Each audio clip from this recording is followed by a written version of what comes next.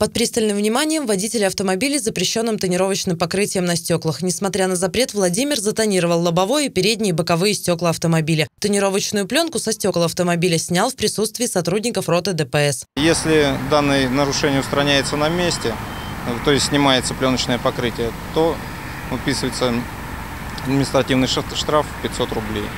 Если данное нарушение не устраняется на месте, то снимаются государственные регистрационные номера до устранения данного нарушения. Профилактическое мероприятие «Тонировка» проводят инспекторы роты ДПС в Анапе с 17 по 24 апреля. За 4 месяца инспекторы оштрафовали 342 водителя. Основание – запрещенная тонировка на стеклах машин. Пленка ухудшает видимость на трассе, из-за этого аварии случаются чаще. Не задумываются о безопасности и жизни водителей, садясь за руль нетрезвыми. С 15 по 20 апреля проходит профилактическое мероприятие «Бахус». Сотрудники роты ДПС выявляют водителей в состоянии алкогольного опьянения. Назначается административный штраф в размере 30 тысяч рублей и лишение права управления автомобилем до, от полутора до двух лет.